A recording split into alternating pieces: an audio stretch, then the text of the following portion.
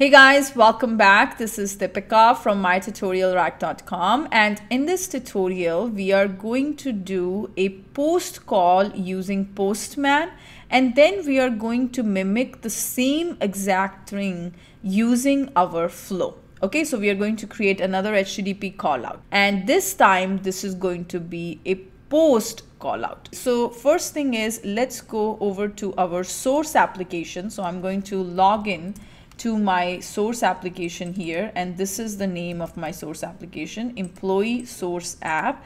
And if you go over here and let's take a look at how many employee records are currently there. Okay so i'm going to go over to employee hr data and as you can see here we have total of about 25 items at this point. That's the total number of records we have. And uh, let me do one more thing. I'm going to add few more fields here.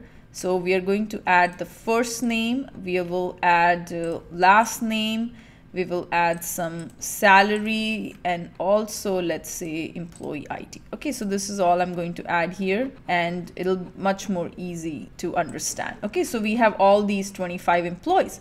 Now, if I have to insert a new record using Postman, what is the callout going to look like?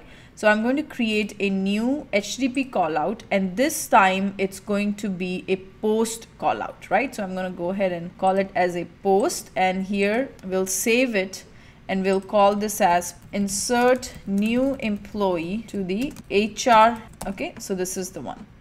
And then we will hit the save and uh, how the post call will look like. So if you remember, it's going to be the same, but this time we are not going to be passing any ID and what we will do here is this is going to be the endpoint and then in the body we will pass in a JSON format okay? And uh, what all things we are going to pass?